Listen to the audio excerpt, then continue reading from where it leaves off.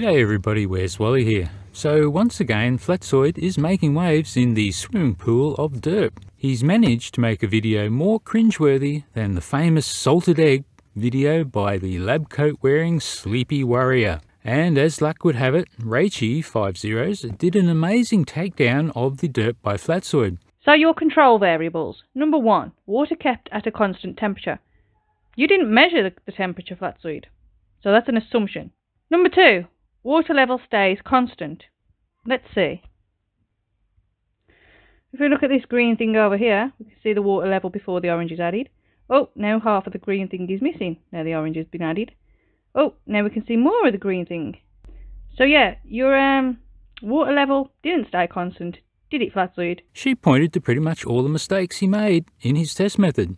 It's well worth a watch, and now I don't have to bother. I can do something more fun. And the link to Rachie's video is in the description as always. Now there is one comment that got the Wally brain ticking over.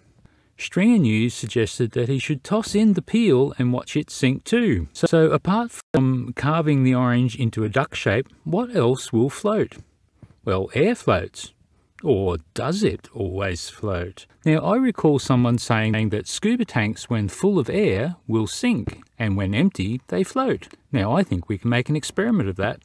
So let's take two identical scuba tanks, one full and one empty or at the reserve pressure, and toss them into water. The tanks are the same and the volumes are the same and the water temperature is the same and the only difference is that one is full of compressed atmosphere air, if you will. So when dropped into water, they will float or sink exactly identically as gravity has no effect on gas. The null hypothesis is that the air is also affected by gravity and the mass of air in the tank will make the container go down, go boom boom thus proving air has mass, and the irony of a container of air going down, going boom boom, will not be lost on anybody. So let's see, roll VT, as any sensible person would say right about now. Wally, what on earth do you think you're doing?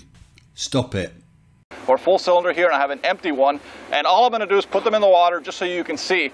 Empty cylinders float, full cylinders are gonna sink. So if I take my empty cylinder here and I put it inside the water, what you're gonna see here is my empty cylinder is actually going to float. So I'm gonna put this in the water real quick here. It'll take a moment, but you're gonna see that the cylinder comes right back to the surface. And it's actually at the reserve pressure right now. So it's at about 500 PSI, which would be reserved for us here in the United States. Now, if I take my full cylinder and I put it in the water, what's gonna happen is as soon as I let it go, I'm gonna have to go back in the water and get it, but you're gonna see it's just gonna sink right to the bottom. Well, the near empty tank is bobbing. The full air tank is sinking like Jack after Rose gave him a push. So it seems that the hypothesis is not supported at all, and therefore the null hypothesis is proved. The air in the container does indeed add mass to the container, and as the volume is remaining the same, the density is increased to above the SG of 1, and so it sinks. So adding extra mass without changing the volume or any other variable has resulted in the greater attraction towards the centre of the Earth. Science proves gravity. Who knew? Oh wait, we all knew. Now let's finish by acknowledging a few special comments made by Flatzoid. You will never hear this sort of thing anywhere else. It's a rare treat. This is an orange. We're going to be use this for the science experiment today. What is postulated? while gravity says that if you increase the mass, it will accelerate towards the ground. But what happens if we decrease the mass? Should it mean it has more of a buoyant force acting upon it from the other side, which would cause it to go up? Well, Flatzoid identified the orange correctly, so that's good. But no, the buoyant force would only change if the density of the orange changes. Cut a sinker in half, and it will still sink. Then you move on to peer review. Peer review is simply sending the data onto someone else. Peer review. Well, I'm so glad to see Flatties to finally get that peer review is a vital part of the scientific method, and one I fear that you may not like by the next day or three. Sending it on to your peers to be able to review it, to do the experiment for themselves, and to either validate or invalidate the results validate or invalidate. And what happens when reviewer 2, it's always reviewer 2, we know it's always reviewer 2.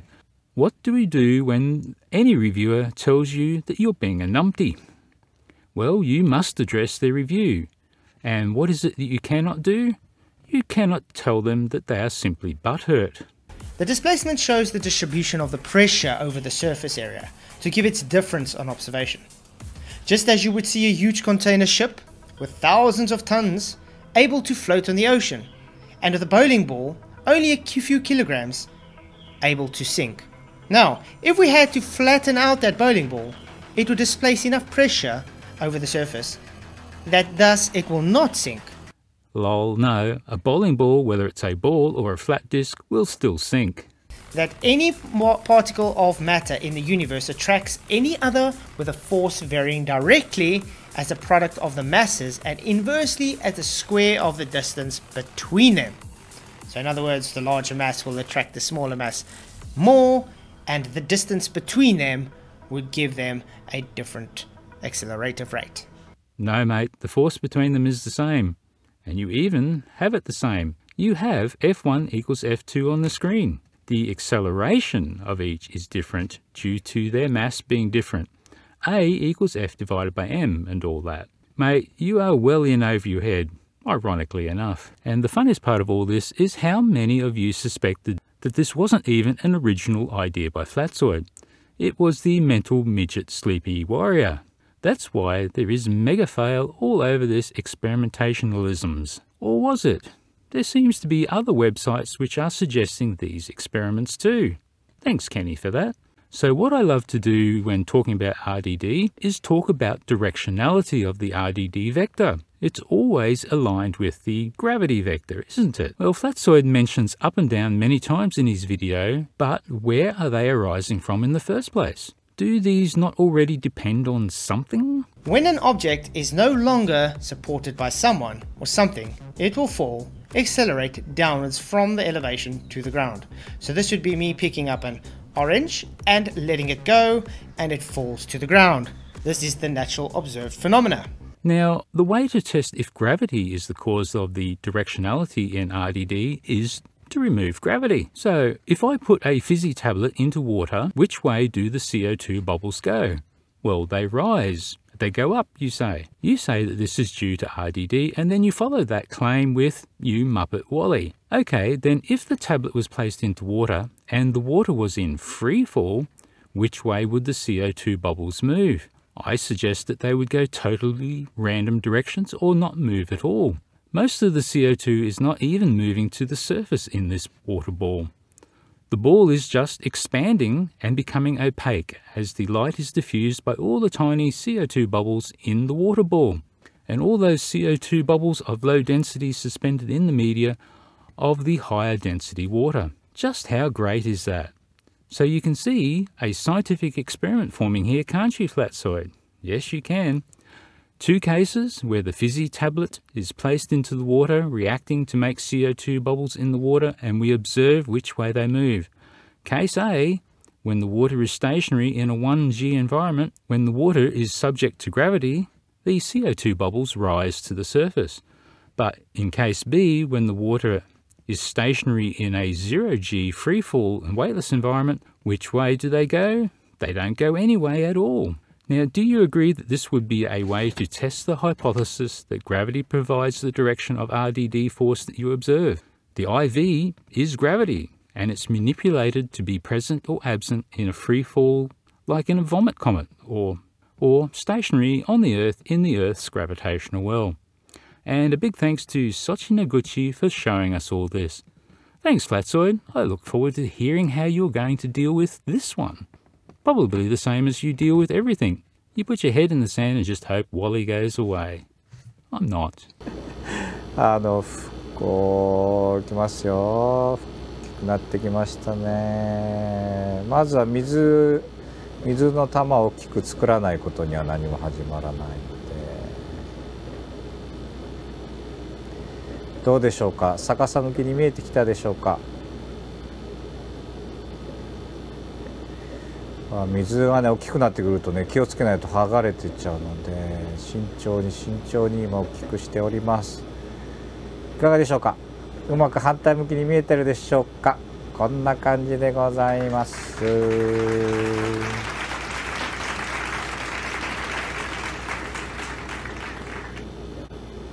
あいました。まずはこれを閉じてですね。ぽよんぽよんぽよんぽよんぽよんぽよんはい。ね見事に逆さに映ってますね。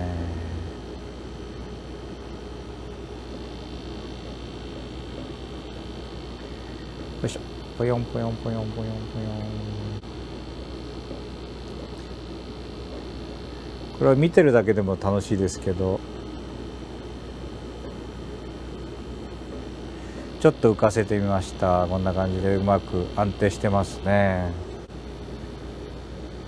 さてこれにですねあの水に入れるとシュワーって泡が出るやつあるでしょ。それをねうまいこと入れてみた。これ結構ね大変なんですよ。難しい。うまくね止めないことにはね始まらないんですけど。入れますね。おどうでしょうか。こんな感じでございます。あっという間に。おプチプチいってる。すげえすげえ。おお泡が外に向かってバンバン出てますね。すごい。こんな感じでございます。すごい反応です。おお炭酸ガスがねこう水の中でこういっぱい出てるんですけど。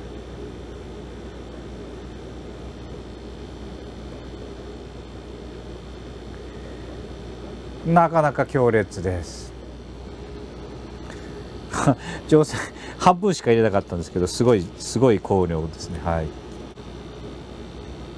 お安定してますね。ちょっとね。泡でいっぱいになりました。で泡の分ちょっとね大きくなったような気もしますけどすごい。なんか SF に出てくるあのあの惑星みたい。こう。すごい。こう水のね中にこうちっちゃな気泡がいっぱい浮いてるのが分かります。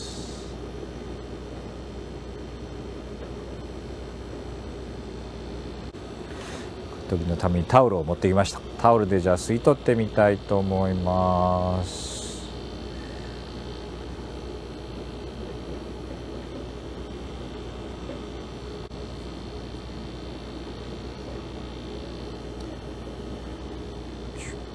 あ弾かれちゃった。